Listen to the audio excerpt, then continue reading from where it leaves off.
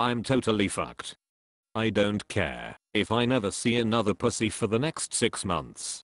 I'm going to take a quick nap whilst my friends are in the room.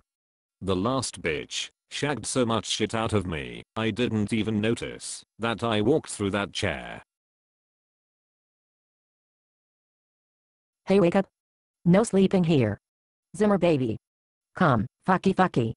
What? I barely even closed my eyes. Hey, English.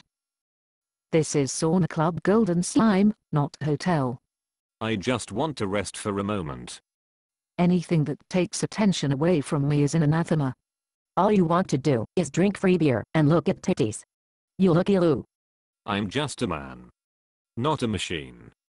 I must rest, then perhaps I can go with another girl later?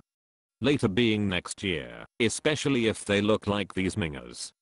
But I'm not telling these two cackling hyena-faced tuna-smelling shag monsters. The one on the right has a pussy like two padded coat hangers. I don't care about that. I just can't handle the fact I am standing naked in front of you, and you have the temerity to actually close your eyes. And I can't stand the idea that you may possibly have a 50 note in your locker that could be in my purse. How am I going to get it into my purse if you are asleep? You are wasting my time. Look, if you don't leave me alone I will have to go to reception or ask Scotty to beam me up. If you want to sleep go home.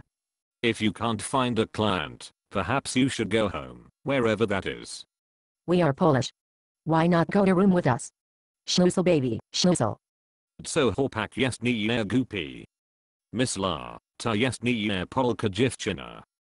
Why you speak Russian shats? You are not a gentleman. Don't you realize my management consultancy company needs all my earnings today for his urgent medical supplies? He might die without it, he loves me, and I am the only person keeping him alive. That is it. Beam me up Scotty. Spierdala da Polska suka. If you understand that. Awesome that stuff the Dutch guys paid us and really worked. Yes, I think that condom of talcum powder they asked me to keep up my ass just burst.